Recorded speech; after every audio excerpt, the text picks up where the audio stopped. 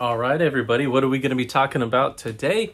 Well, we're going to be talking about some more Yngwie Malmsteen Stratocasters. So we're looking at this one over here, which is the USA Custom Shop versus this one over here, which is the USA Current Standard Production. This one is a 2014.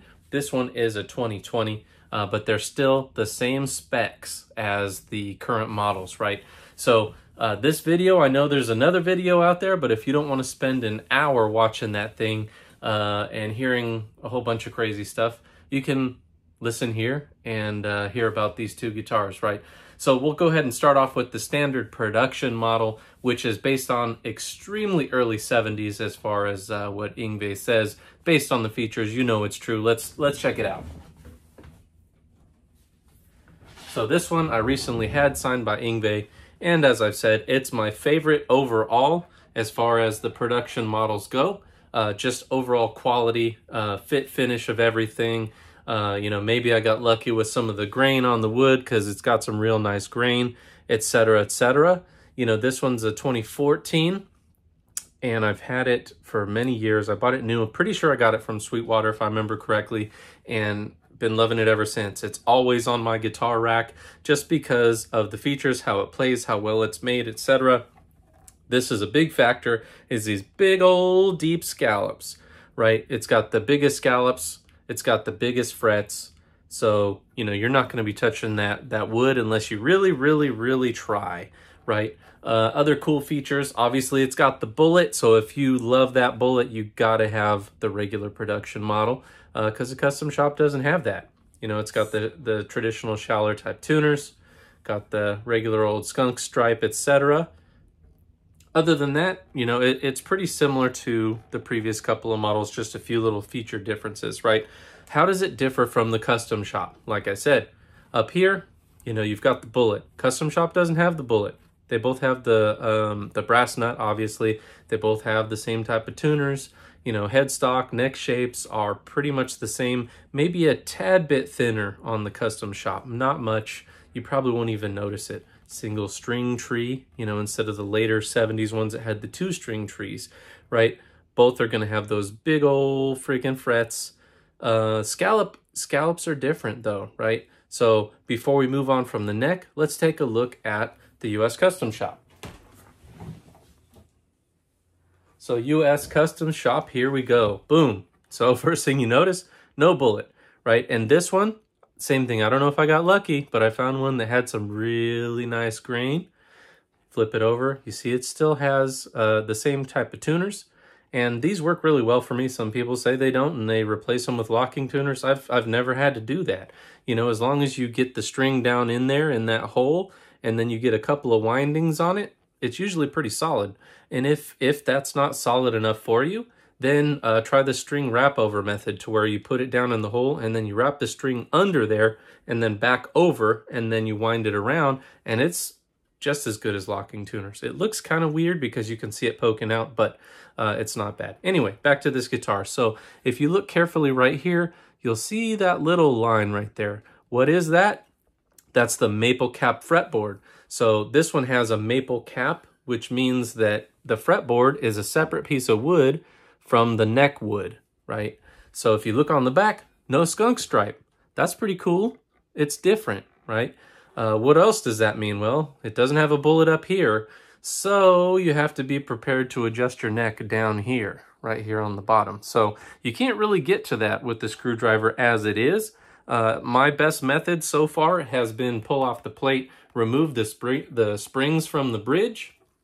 That way, you know, your bridge kind of goes up and gives you a little room to work, pull out all your screws, and then you should be able to pull that back just enough to have access to that. So you got to do that, make your adjustment, hope that it's right, and then put everything back together, put, pull your springs or put your springs back in, uh, get it up to tune, give it a little bit, and see where it's at. And if it's not good, then you got to do it over again. So much more difficult than just getting an Allen key and going boop right here at the top. Right, so uh, that that is probably the biggest difference between these two. But if you like it without that, then you got to get yourself a custom shop. Uh, the custom shop neck is nitro finished, and it is noticeably smoother than the production model uh, which is poly, right? Uh, poly's thicker. Nitro is very, very thin. If any of you have worked with nitro, which I have, I've built uh, uh, one guitar and finished it in nitro, and I refinished a different guitar in nitro with the help of a local master luthier, uh, Gary Garcia. And if you know about nitro, basically you spray it on and then you sand most of it off. And then you sand, or you spray more on, and then you sand most of that one off. And you keep doing it um, until you get, you know, where, where you want to be. You know, I know one guitar, we probably put about half a gallon of nitro on it. Uh, other differences, obviously, you've got the custom shop logo right here on the back of the headstock, whereas the other one has the serial number on the back of the headstock. Serial number on these is right here on the neck plate, so that's a little bit different. Now we'll move on to the body. So you can see this one has the flush fit uh, strap locks, which are kind of cool. It's cool and it's not cool all at the same time, right? That means you have to have the other part of this, otherwise you can't use a regular strap on there. And when you set it down, you know, you don't really have any wiggle room there because there's almost nothing to set it on, see? So, like I said, good and bad. I like it because it looks cool, it's new, and it's different. Other than that, um, the strap stays on really well. I've never had one pop off, not even one time, right? And uh, I don't think I've seen, you know, when I went and saw Yngwie recently, his, his didn't pop off either, and he's doing all kinds of crazy stuff, flinging this stuff around. You know, one thing, and I don't know if all the custom shops are like this, but, you know, look at those freaking cool-ass grain patterns. And this one is uh, flat sawn. You know, some of this in here kind of looks like it could be quarter sawn just because it's got such good looking great pat grain patterns in there.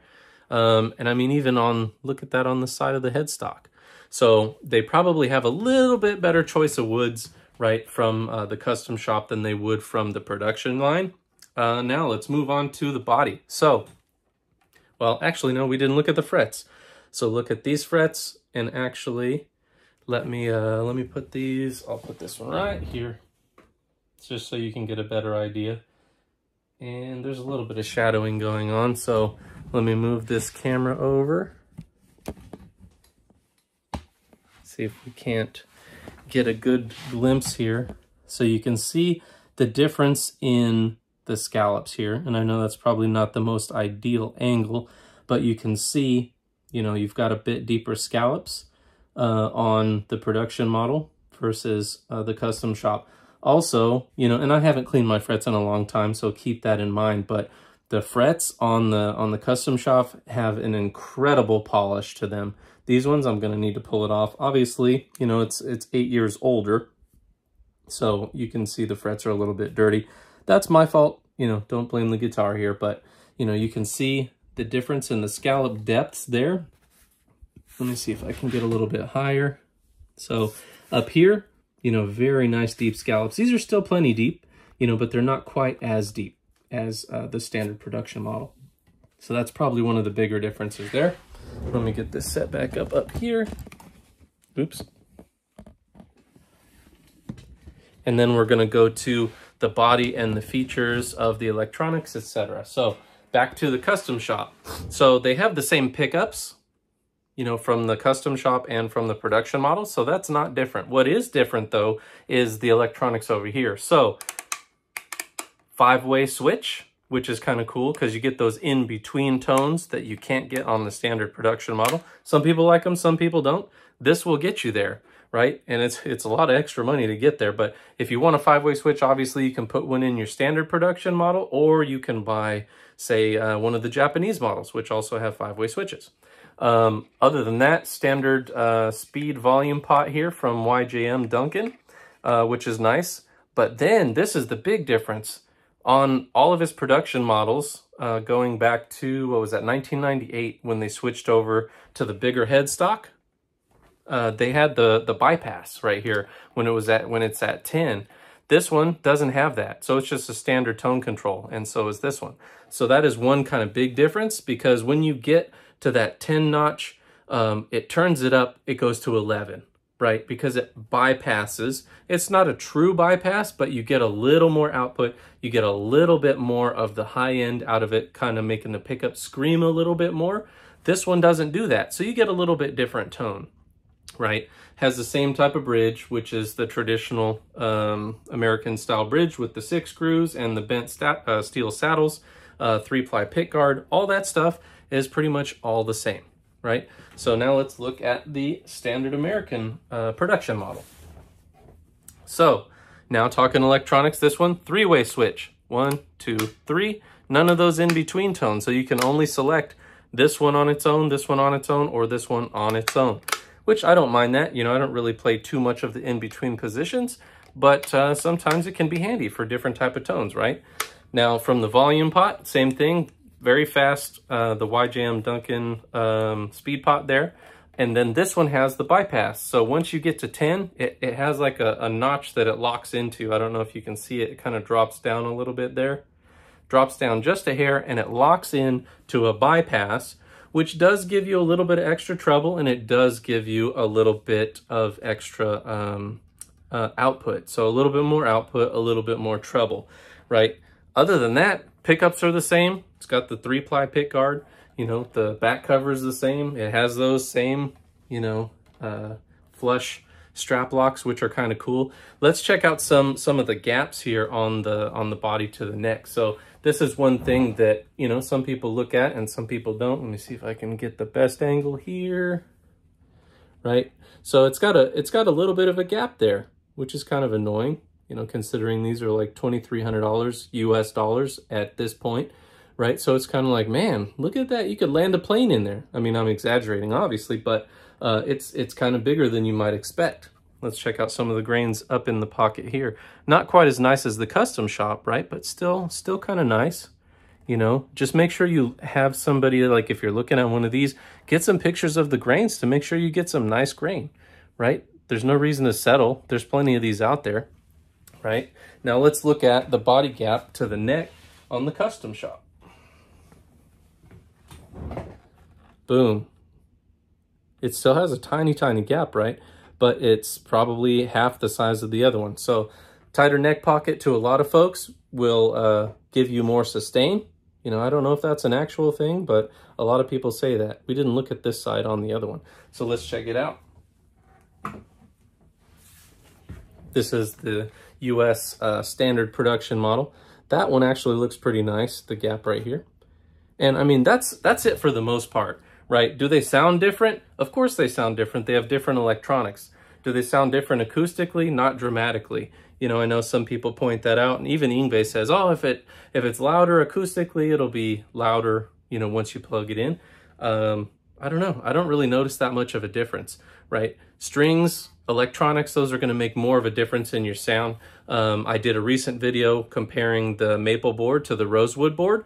If you like uh, that type of content, please go check out that video uh, because those do sound a little bit different. The woods don't have a dramatic effect, but it's enough of an effect that you can you can hear it, right? It's feel, you know, it feels a little bit more mellow, etc. Uh, but that's really all I got for you guys today. Thank you for uh, watching. As always, if you like my content, please like, comment, share, and subscribe.